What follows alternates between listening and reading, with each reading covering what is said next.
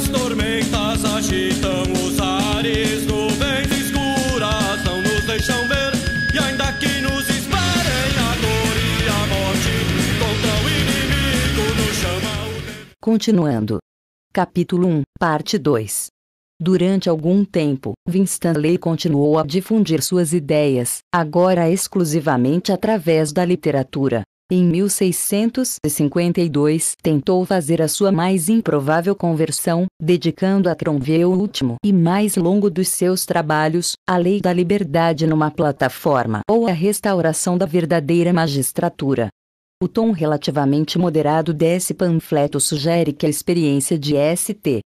George Hill conseguira não apenas diminuir o entusiasmo de Winstanley, como tornar suas ideias um pouco menos radicais pois embora continue a defender um comunismo quase absoluto e apresente um plano político semelhante ao dos niveladores mais extremados, prevendo um parlamento que se renovaria anualmente, a utilização de vários funcionários e administradores, introduzindo o trabalho compulsório e chegando até a admitir a pena de morte para certos crimes contra a comunidade. A Lei da Liberdade recebeu pouca atenção e, depois de sua publicação, Winstanley recolheu-se à sombra de um anonimato tão absoluto que desconhecemos até mesmo o local e a data de sua morte.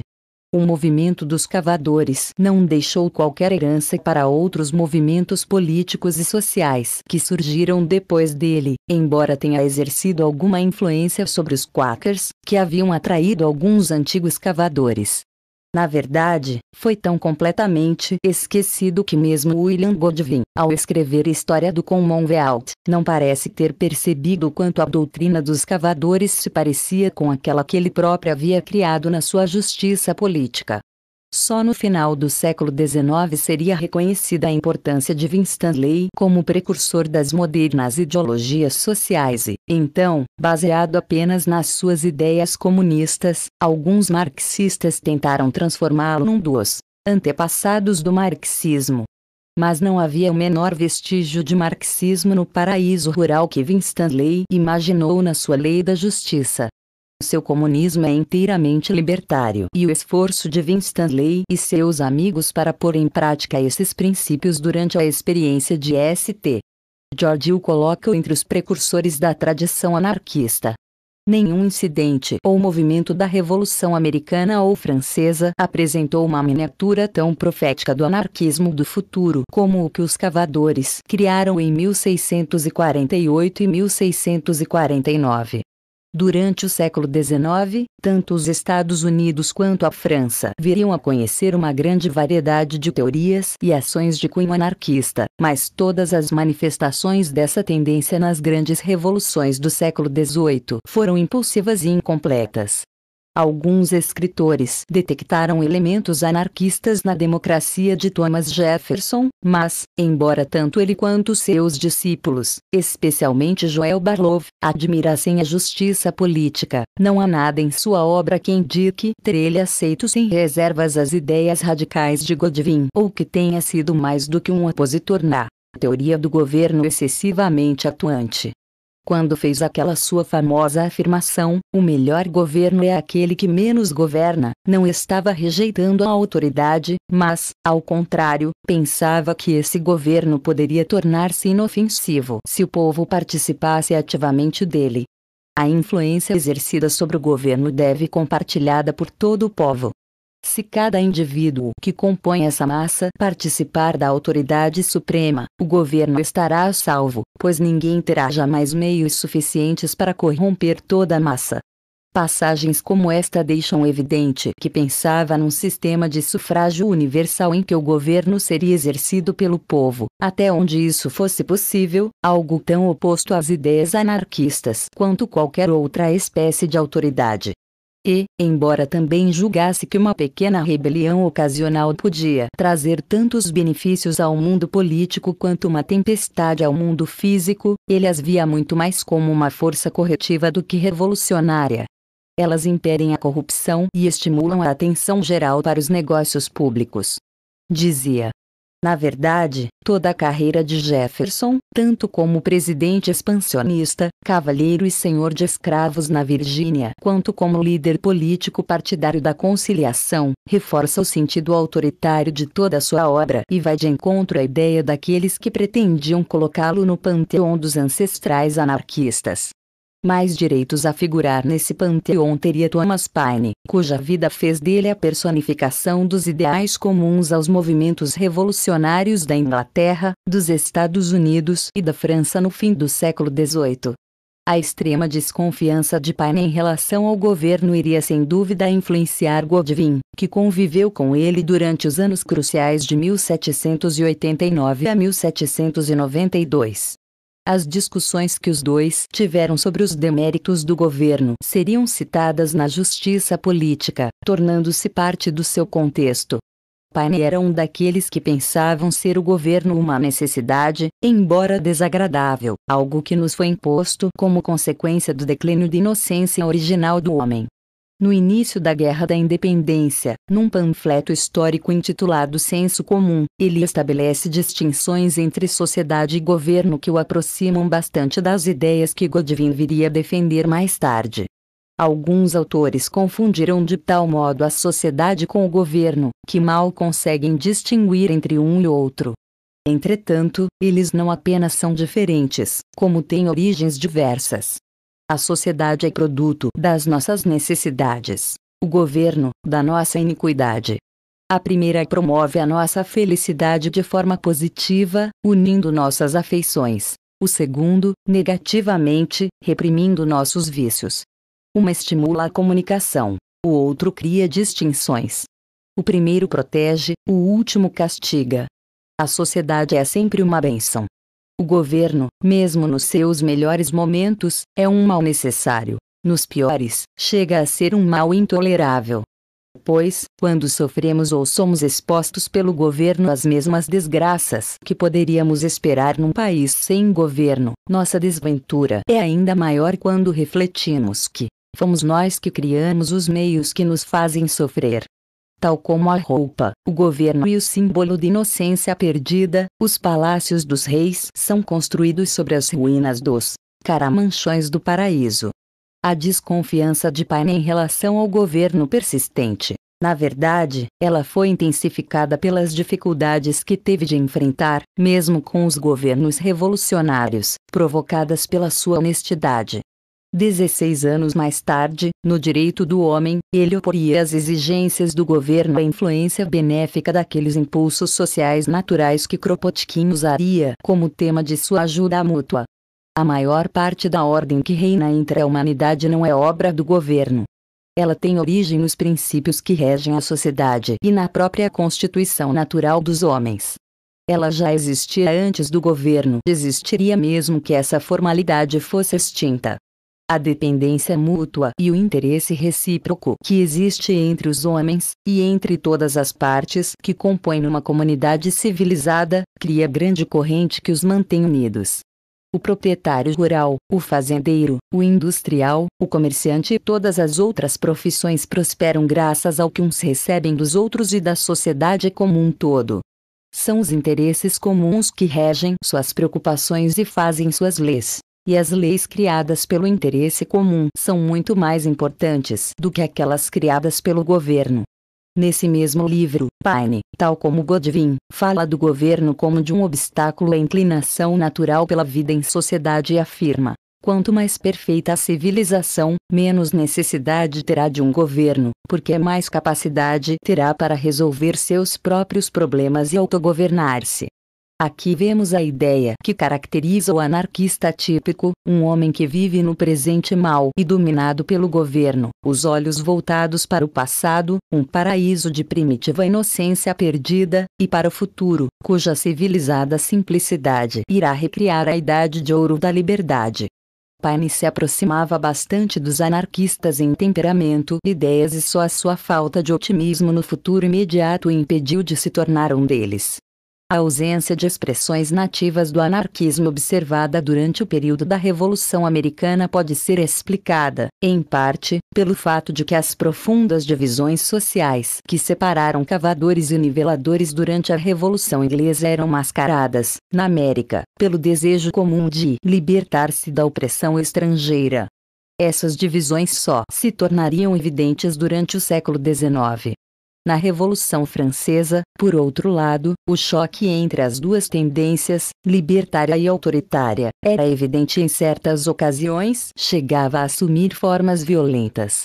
Kropotkin dedicou uma de suas obras mais eruditas, A Grande Revolução Francesa, à interpretação dos movimentos populares ocorridos durante os tempestuosos anos que vão de 1789 até o fim do governo jacobino, em 1793. Sua parcialidade em favor dos anarquistas leva-o a dar excessiva ênfase aos elementos libertários, mas permite-lhe também ver os acontecimentos estereoscopicamente, realçados por causas sociais, econômicas e não apenas como simples luta entre partidos e personalidades políticas.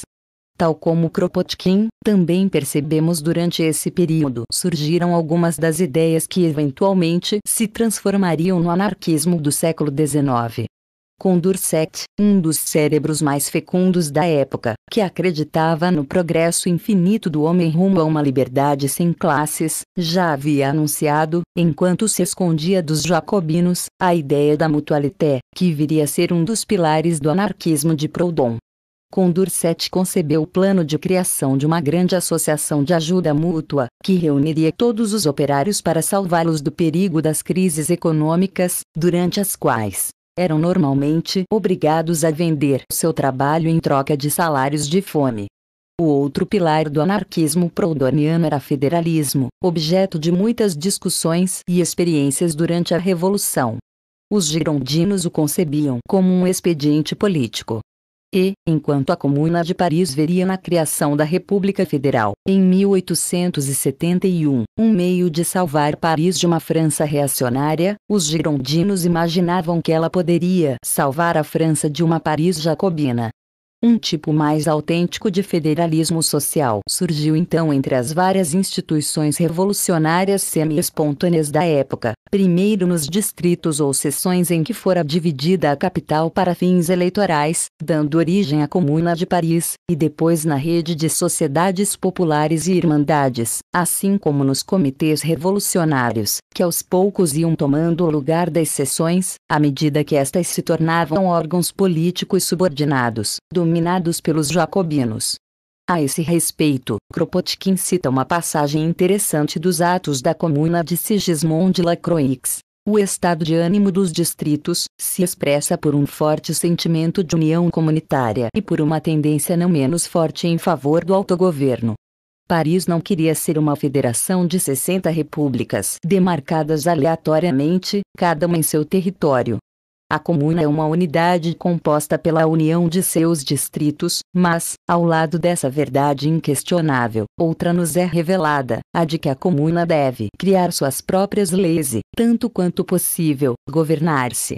O governo por representação deve ser reduzido a um mínimo e tudo aquilo que a comuna puder fazer deve ser feito, sem intermediários, sem delegação ou através de representantes cujo papel será reduzido ao de comissários especiais, agindo sob controle ininterrupto daqueles que os comissionaram. A palavra final sobre as leis e a administração da comuna pertence aos distritos, aos cidadãos que se reúnem nas assembleias gerais dos distritos. Kropotkin vê nesse tipo de organização uma expressão primitiva dos princípios do anarquismo e conclui que esses princípios não são fruto de especulações teóricas, mas de atos da grande Revolução Francesa. Mas aqui mais uma vez permitirá que, na ânsia de provar as origens populares do anarquismo, seja levado ao exagero.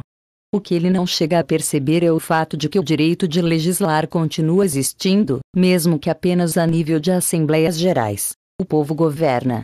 Assim, devemos considerar esse período revolucionário como uma tentativa de estabelecer não a anarquia, mas a democracia direta. Entretanto, ainda que não fosse anarquista na verdadeira acepção do termo, a Comuna, tal como sua sucessora em 1871, era federalista, e nisso ela antecipou Proudhon, ao criar um esboço, um modelo tosco do tipo de estrutura prática na qual, segundo ele julgava, seria possível desenvolver uma sociedade anarquista. Mas é preciso buscar além do mutualismo de Condorcet e do federalismo da Comuna para encontrar os verdadeiros proto-anarquistas da Revolução Francesa. Kropotkin estava tão preocupado em descobrir manifestações populares que cometeu o erro de não dar a devida importância a determinados indivíduos isolados que se aproximaram da atitude anarquista, diante dos acontecimentos da época em que viveram.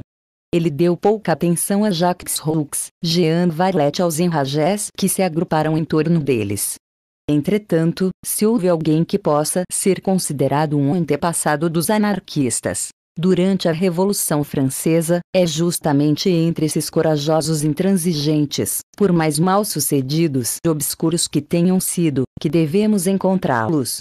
O movimento em Rajé surgiu em 1793, correu como um baixo obstinado e rabugento durante os anos de terror, tais como os cavadores da Guerra Civil Inglesa. Eles surgiram num período de recessão econômica, em grande parte como resposta às dificuldades econômicas por que passavam os pobres de Lyon e Paris, mas também como uma forma de reagir às distinções de classe que marcaram o crescente poder da classe média em ascensão.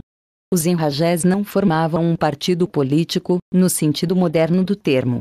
Não tinham qualquer tipo de organização definida, nenhuma orientação política única constituíam um grupo desagregado de revolucionários que tinham ideias semelhantes, cooperavam uns com os outros de forma rudimentar e que, no entanto, mantinham sua união por não aceitar as ideias dos jacobinos sobre a autoridade do Estado, defendendo a ideia de que o povo deve exercer ação direta e vendo nas medidas econômicas comunistas, mais do que na ação política, o caminho para acabar com o sofrimento dos pobres as acusações que os jacobinos lançaram Roux, afirmando que ele dissera ao povo que qualquer forma de governo deveria ser proibida, poderiam na verdade ter sido aplicadas aos enragéis.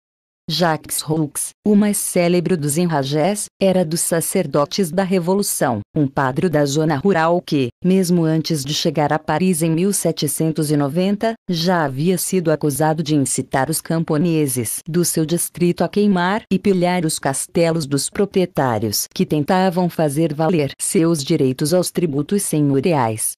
A terra pertence a todos, teria ele dito aos paroquianos continuou a ser padre depois da Revolução, na parece ter visto um reflexo do espírito do cristianismo. Certa vez, definiu sua tarefa como sendo a de tornar os homens tão iguais entre si quanto são iguais por toda a eternidade diante de Deus. Mas é difícil acreditar que um homem com o temperamento e as atitudes de Hux pudesse continuar sendo um católico romano ortodoxo suas ideias a respeito de Deus não deviam ser muito diferentes das de Gerhard. A sinceridade de Roux o tornou tão pobre quanto mais pobre dos ascetas cristãos, e a solidariedade que sentia pelos operários do bairro de Gravelliers, onde vivia, parece ter contribuído para o seu radicalismo extremado. Havia, entretanto, no seu caráter um traço de fanatismo que o levou a praticar a ação que iria manchar de forma tão odiosa a sua memória. Enquanto Thomas Paine pedia pela vida de Luís XVI, Roux estava entre aqueles que deveriam assistir à execução do rei.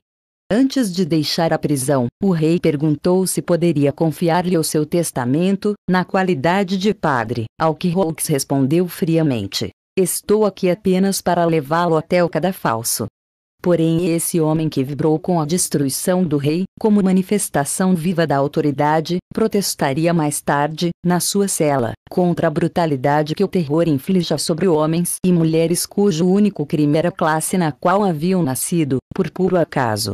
Desde o início, Roux desempenhou papel ativo na vida revolucionária de Paris. Frequentava o Club des Cordeliers e em março de 1792 ocultou Marat em sua própria casa, fato que não o livraria mais tarde dos ataques de alguns autoproclamados amigos do povo.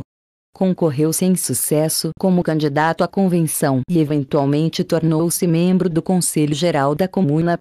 No fim de 1792, Hawkes começou a expressar as teorias radicais que havia elaborado enquanto trabalhava entre os sapateiros e carpinteiros de Graveliers, seus mais íntimos amigos. A incapacidade da revolução em cumprir o que Hawkes esperara dela durante o primeiro ano não lhe saía da cabeça, e foi durante esse período que fez o seu primeiro discurso. Nele, deixava entrever pela primeira vez suas tendências anarquistas ao declarar: a ditadura dos senadores é tão terrível quanto o cetro dos reis, pois acorrenta as pessoas sem que elas o percebam, brutalizando-as e subjugando-as através de leis que elas julgam ter criado. Durante as turbulentas semanas que se seguiram, quando os suplicantes se apresentaram diante da convenção, exigindo que fosse exercido um controle sobre os preços, e os pobres de Graveliers se revoltaram contra os lucros excessivos dos comerciantes, Hawkes defendeu-os e talvez tenha até contribuído para que tomassem tais atitudes. Durante o ano de 1793, o jovem orador revolucionário Jean Violet uniu-se a Hawkes Tal como Hooks, Violet era um homem culto. Vinha de boa família, estudara no colégio d'Harcourt e na época da Revolução vivia modestamente de rendas, tendo além disso um cargo no serviço público. A revolução veio enchê-lo daquela espécie de entusiasmo que pode transformar-se em amargura quando se vê frustrado. Violet tornou-se morador popular e, em março de 1793, surgiu como líder dos primeiros ataques dirigidos contra os girondinos. Mas, assim como por trás da indignação de Hawkes contra os preços altos havia a ideia da propriedade comum, por trás dos ataques de Violet contra o grupo mais conservador da convenção havia uma condenação geral à ideia do governo representativo. Embora não haja qualquer evidência de que Violet e Hawkes tivessem trabalhado juntos antes disso, e até algumas provas de que esses dois agitadores populares sentiam certo ciúme um do outro, em junho de 1793 participaram lado a lado de novas agitações, provocadas pelo alto custo de vida.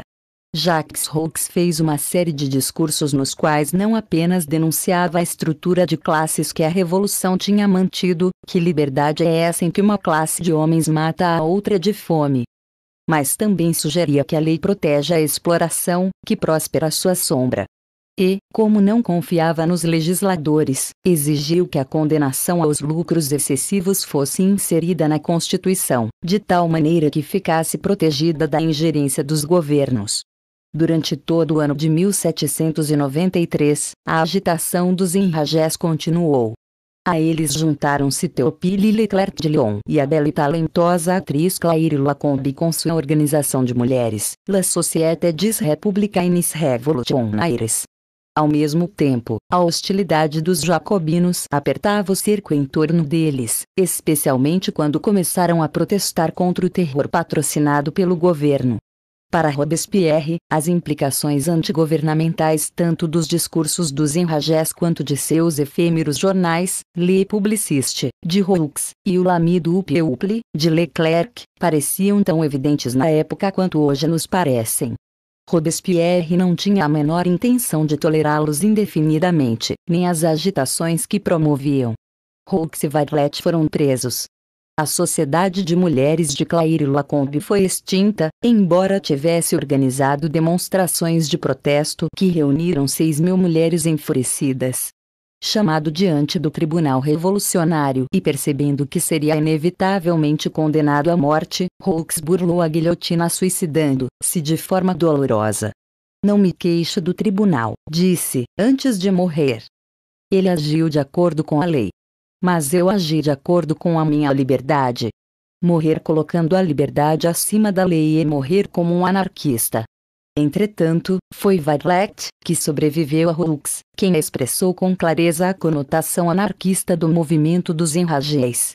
Depois que Robespierre caiu e que os enragés se rejubilaram com a sua morte, Violet testemunhou a tirania do diretório que se seguiu e, na sua fúria, publicou o que devemos considerar como o primeiro manifesto anarquista da Europa continental.